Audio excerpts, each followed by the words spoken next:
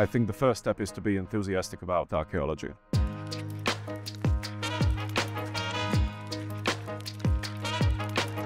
For me, archaeology is uh, something that is uh, directly connected with culture, with history, with modern day uh, things that are going on. Here, I found a course, Classical and Roman Archaeology. it was everything I could ask for. I've chosen to do a specialization in prehistory, uh, especially the Neolithic.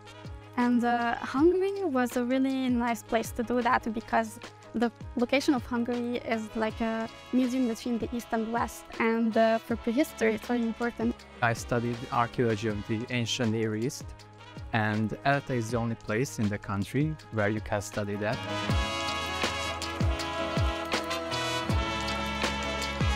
What we offer is a um, wide variety of topics from the Paleolithic to the uh, early modern ages, a very up-to-date archaeology, and uh, here one can learn about the modern methods, the modern theories. The structure of it is very, very interesting. It's uh, multidisciplinary, it's very important.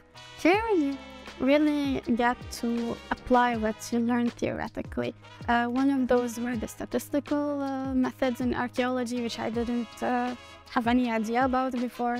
Uh, also, we get to learn about the bioarchaeology and the methods implied in it. This was very new for me as well. We uh, do a lot of practice uh, during the classes. I've never actually ex expected that it would be like that.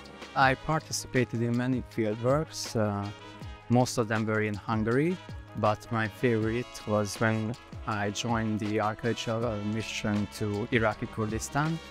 And I'm lucky enough to be the part of that mission for years now.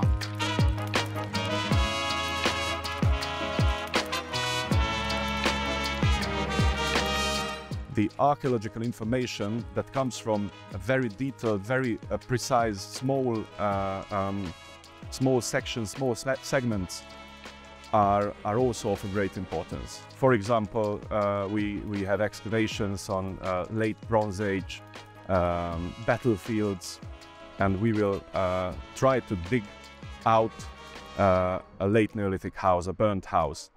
I would recommend this master program because the, the quality of the education program, all the professors, everyone has so much experience and everyone is very helpful.